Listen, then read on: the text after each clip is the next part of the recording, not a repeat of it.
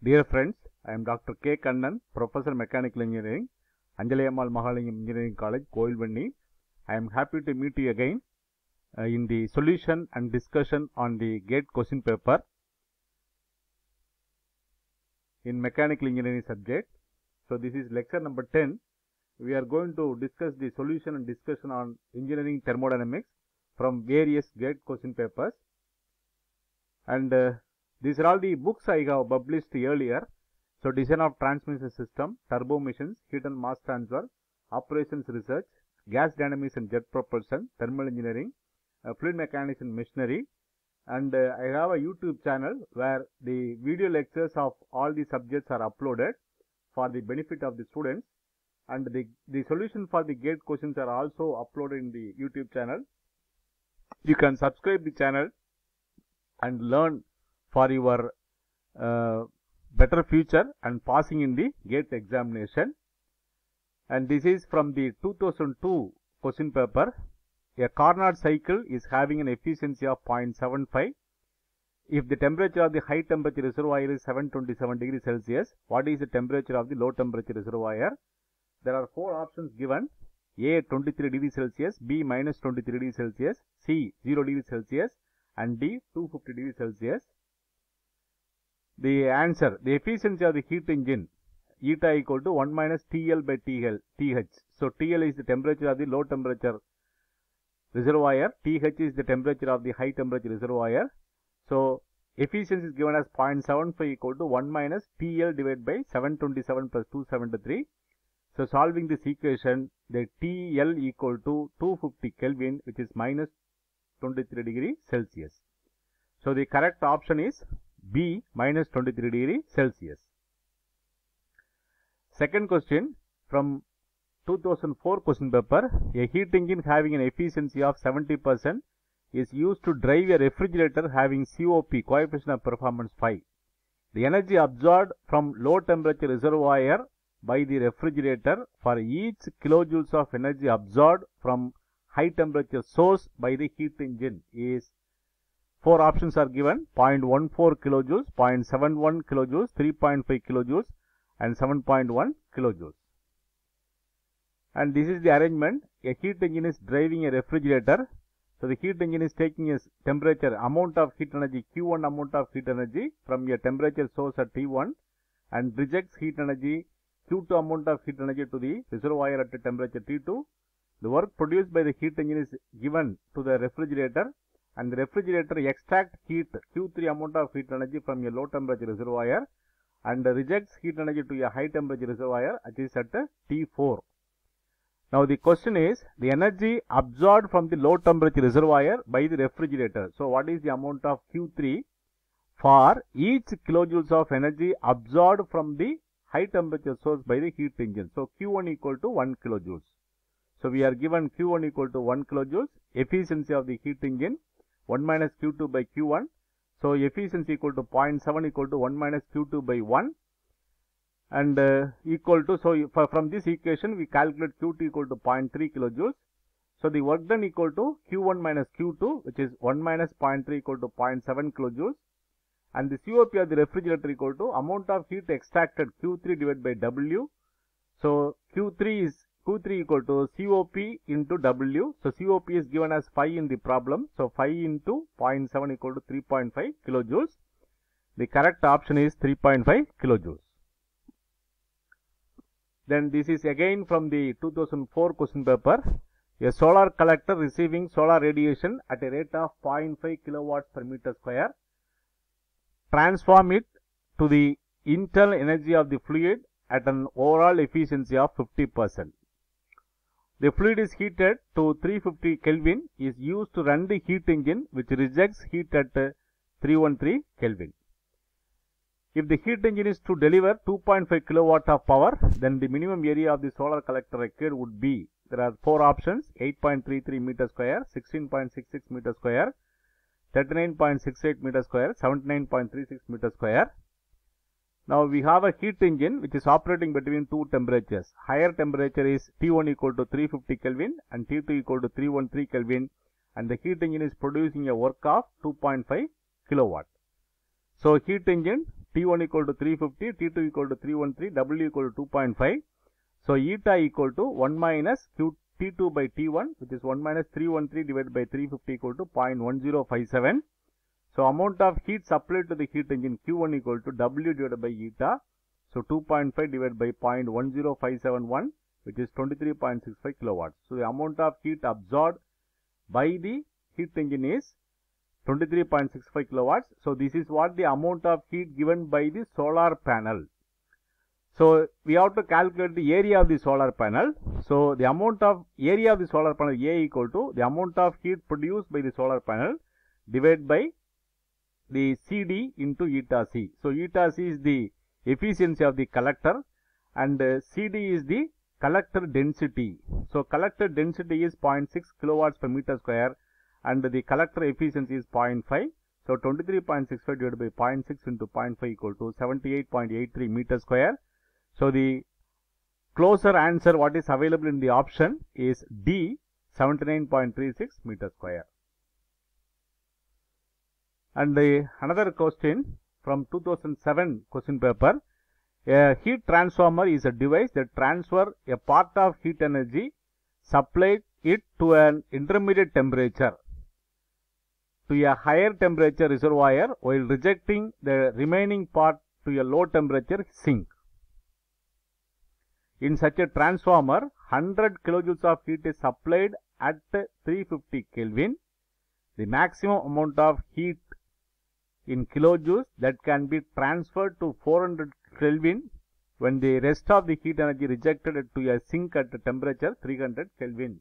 So the amount of heat, maximum amount of heat energy transferred is 12.5 kilojoules. Option B 14.29 kilojoules. Option C 33.33 kilojoules. And option D 57.14 kilojoules. The answer is 57.14 kilojoules. So we will see how. So this is the arrangement. So this is the transformer which is receiving heat energy. So 100 kilojoules of heat energy is given to this uh, transformer. So from here some amount of heat energy is given to the heat pump which is at a higher temperature 400 Kelvin and remaining amount is given to the heat engine which is producing work.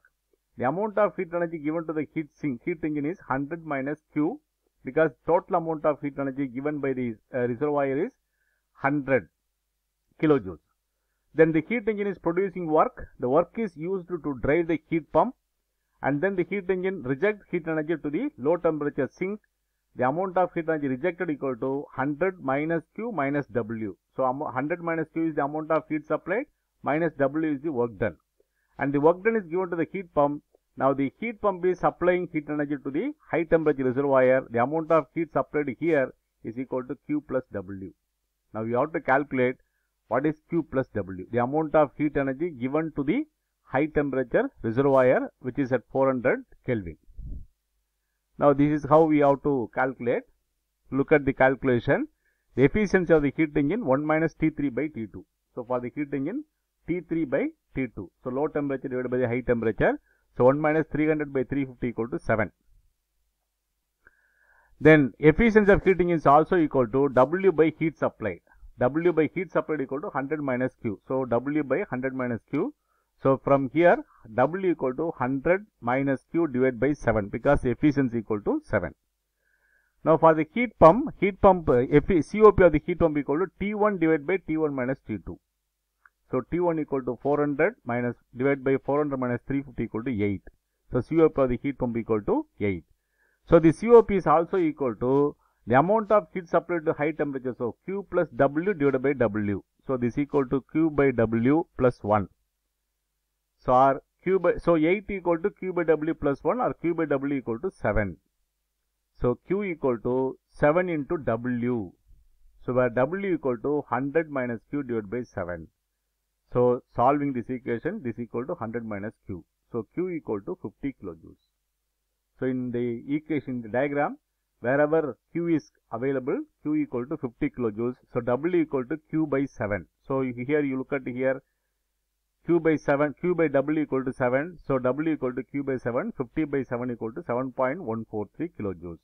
So the heat rejected equal to, amount of heat rejected equal to Q plus W which is 50 plus 7.143 equal to 57.143 kilojoules. So that is what the answer we have selected 57.14 kilojoules. Then next question from 2009 question paper and and reversible heat engine extracts heat from a high temperature source at a rate of 100 kilowatt and rejects heat to a sink at the rate of 50 kilowatts. The entire work output of the heat engine is used to drive a reversible heat pump operating operating between a set of independent isothermal heat sources at 70 degree Celsius and 75 degree Celsius. The rate at which heat pump delivers heat to its high temperature sink is 50 kilowatts, 250 kilowatts, 300 kilowatts and 360 kilowatts. Now this is again the diagram. Then the heat pump for the heat pump T3 equal to 75 degree Celsius and T4 equal to 17 degree Celsius. So 75 degree Celsius equal to 348 Kelvin and 17 degree Celsius equal to 290 Kelvin. For the heat engine, so it is supplied with it is it is ex, it is taking 100 kilowatts of heat energy and rejecting 50 kilowatts of heat energy. So Q1 equal to 100, Q2 equal to 50. So W work produced by the heat engine equal to Q1 minus Q2 equal to 100 minus 50 equal to 50 kilowatt. So the work is given to the heat pump. So for the COP of the heat pump equal to T3 by T3 minus T4 equal to 348 divided by 348 minus 290 equal to 6. So the amount of heat rejected given to the heat rejected to the heat, heat rejected by the heat pump Q3 equal to COP of the heat pump into W. So which is 6 into 50 equal to 300 kilowatts. So the correct answer is 300 kilowatts option C. And this question is from 2014 question paper. A reversible heat engine receives 2 kilojoules of heat from a reservoir at 1000 Kelvin and certain amount of heat from the reservoir at 800 Kelvin. It rejects 1 kilojoules of heat to a reservoir at 400 Kelvin. The net work output of the cycle is 0.8 kilojoules, 1 kilojoules, 1.4 kilojoules and 2 kilojoules. And look at this diagram. So there is a heat engine. It is supplied with heat energy from two reservoir T1 equal to 100. It supplies Q1 equal to 2 kilojoules. T2 equal to 800. It supplies Q2 uh, that is unknown. And uh, the heat engine rejects heat energy Q3 equal to 1 kilojoules to a temperature T3 equal to 400 Kelvin. Now from this for a reversible cycle we have this equation from absolute temperature scale definition of absolute temperature scale Q1 by T1 plus Q2 by T2 plus Q3 by T3 equal to 0 plus here Q3 is rejected so minus Q3 by T3 equal to 0 substituting Q1 equal to 2 kilojoules and the corresponding temperature equal to 1000 Kelvin Q2 is the unknown corresponding temperature is 800 Kelvin minus 1 kilojoules divided by 400 Kelvin equal to 0 so rearranging Q2 by 800 equal to 1 by 400 minus 2 by 1000 which is 1000 minus 800 divided by 4 lakh. So this equal to Q2 by 800 equal to 2 by 4000. So Q2 equal to 16000 by 4000 equal to 0.4 kilojoules. Net work done equal to net heat transfer in a cycle. So Q1 plus Q2 minus Q3 because Q3 is rejected. So 2 plus plus 0.4 minus 1 equal to 1.4 kilojoules and the correct option is 1.4 kilojoules option C. So again the question from 2016 question paper a reversible cycle receives 40 kilojoules of heat from a, from one heat source at a temperature of 127 degrees Celsius and 30 kilojoules of heat from another heat source at 97 degrees Celsius. The reject heat rejected in kilojoules to a heat sink at 47 degrees Celsius is dash. And you are given Q1 equal to 40 kilojoules and the temperature is 127 degrees Celsius. So 400 Kelvin. Q2 equal to 37 kilojoules and T2 equal to 97 degrees Celsius which is 370 Kelvin. T3 equal to 47 degrees Celsius which is 320 Kelvin. Now we have to calculate what is the amount of heat rejected Q3. So the same formula what we used earlier so for reversible cycle Q1 by T1 plus Q2 by T2 minus Q3. So Q3 is rejected. Q3 by T3 equal to 0. So 40 by 400 plus 37 by 370 plus minus Q3 by 320 equal to 0. So Q3 equal to rearranging Q3 by 320 equal to 40 by 400 plus 37 by 370 which is equal to 1 by 10 plus 1 by 10 equal to 2 by 10. So Q3 equal to 2 by 10 into 320 equal to 64 kilojoules. So the answer is 64 kilojoules. Next question from 2019 question paper. The figure shows a heat engine HE working between the reservoir, two reservoir. The amount of heat Q2 rejected by the heat engine is drawn up by the heat pump. So Q2 is the amount of heat given to the heat pump. The heat pump receives entire work output W from the heat engine. If the temperature T1 is greater than T2 is greater than T, uh, sorry, T3 is greater than T2, then the relation between the efficiency of the heat engine and COP of the heat pump is COP equal to eta. COP equal to eta minus 1 minus 1. COP equal to eta to the power minus 1 and COP equal to 1 plus eta. So, eta is the efficiency of the heat engine.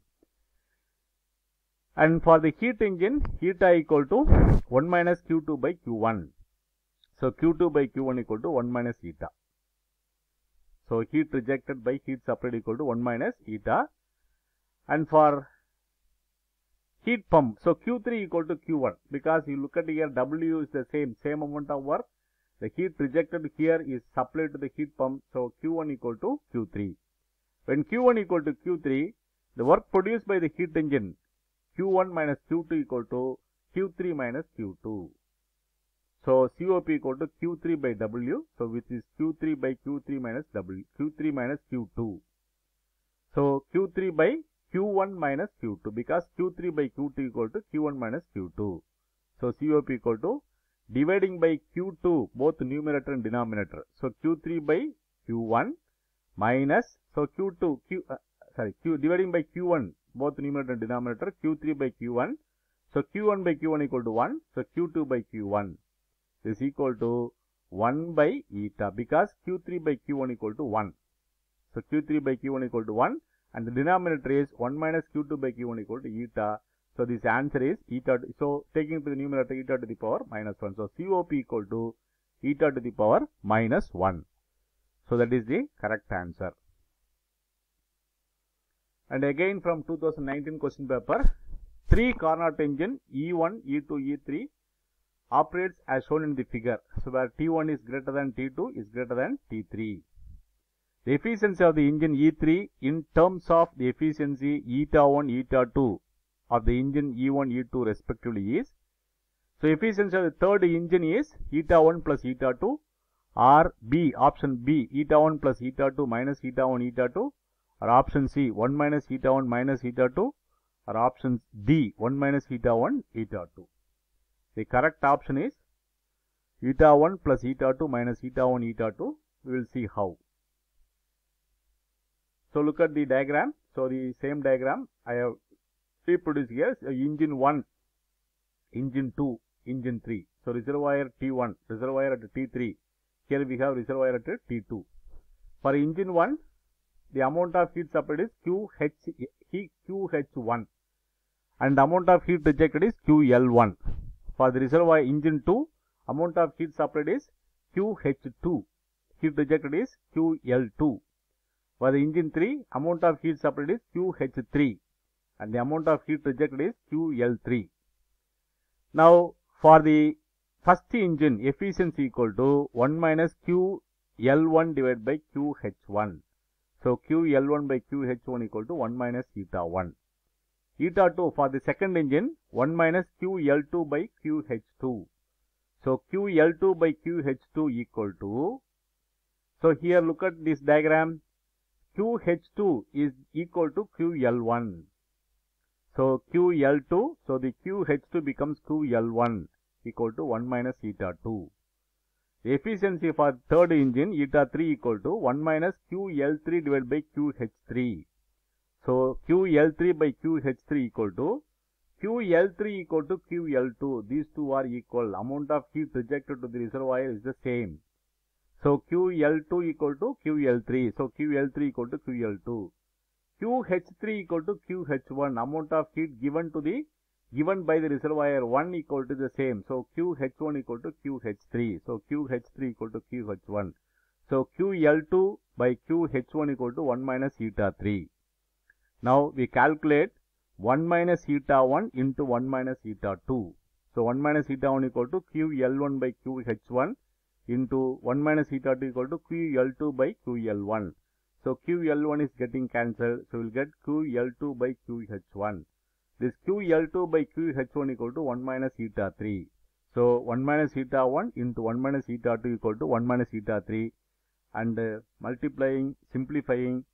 So we'll get eta 3 equal to eta 1 plus eta 2 minus eta 1 eta 2. So the correct answer is we have opted eta 1 plus eta 2 minus eta 1 eta 2 that is the correct answer. Then we take the next question from 1993 question paper. Which among the following relations is R valid only for reversible process undergone by a pure substance? So for a pure substance, del Q equal to du plus del W, TDS equal to du plus del W, TDS equal to du plus PDV and del Q equal to PDV plus du. The correct answer is del Q equal to PDV plus du. And when the system execute a irreversible cycle, which is which statement is correct? Cyclic integral of del Q by T less than 0, ds is greater than 0, ds is equal to 0, cyclic integral of del Q by T is greater than 0. From the Clausius inequality for irreversible cycle and possible del Q by T is less than 0, the option is A. So del Q by T less than 0 is the correct answer for irreversible cycle. For reversible cycle, del q by t equal to 0 or ds equal to 0. For cycle is impossible, ds del q by t is greater than 0. The slope of constant volume and constant pressure lines are dash and dash respectively. So, this is the temperature entropy diagram, slope of the constant volume line, constant pressure line in the TS plane and we have Cp is greater than Cv for any gas, Cp is greater than Cv. So, this is equal to T by capital C, uh, temperature divided by Cv is greater than temperature divided by Cp. So, because of this, T by Cv is greater than T by Cp. So, dou T by dou S at constant volume is greater than dou T by dou S at constant pressure. So, in the temperature entropy diagram, the slope of the constant volume line is higher and the slope of the constant pressure line is lower respectively. So, constant volume line slope is higher constant pressure line slope is lower. So, this is the constant volume line where the slope is higher, constant pressure line the slope is less. A 1500 watt electric heater is used to heat 20 kilogram of water Cp 4186 joules per kilogram Kelvin in an insulated bucket from a temperature 30 degree Celsius to 80 degree Celsius. If the heater temperature is only infinitesimally larger than that the water temperature during the process. If the heater temperature is only infinitesimally larger that larger than the water temperature, larger than water temperature during the process, the change in entropy of the heater is dash in joules per Kelvin and water is dash in joules per Kelvin. The answer. So, delta S equal to mCp into logarithmic of T2 by T1 uh, for a insulated bucket. So, 20 into 4186 into logarithmic of 80 plus 273 by 30 plus 273 equal to 12,786.99 joules per Kelvin. So, this is the entropy change of water for heating the water. So, for electrical heater, it is only work, the work is, it is doing work. So, there is no entropy change for the heater. So, entropy change for the heater is 0 and for the water is 12,786.99 joules per Kelvin. And this is from 97 question paper. For an ideal gas, the expression T into dou S by dou T at constant pressure minus T into dou S by dou T at constant volume is always equal to 0, Cp by Cv, R gas constant R and R into. And if you look at this equation, T into dou S by dou T at constant pressure minus T into dou S by dou T at constant volume. The first term is Cp and the second term is Cv. So, Cp minus Cv equal to R. So, the answer is option C R. And uh, another question from 1997 question paper. A system undergoes a state of change, state change from 1 to 2 according to the second law of thermodynamics. For, a, for the process to be feasible, the entropy change S2 minus S1 of the system is positive or 0, is negative or 0, is 0, can be positive, negative or 0. So, for a process to be feasible, so from the Clausius inequality, for the process to be feasible, the change in entropy, so del Q by T equal to the change in entropy, it may be 0 or less than 0. So, negative or 0, that is the correct answer.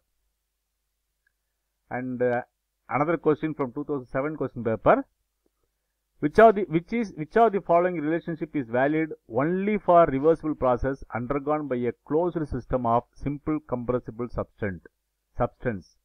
Neglect the change in the kinetic and the potential energy. So a option a del q equal to du plus del w. B tds equal to du plus del w.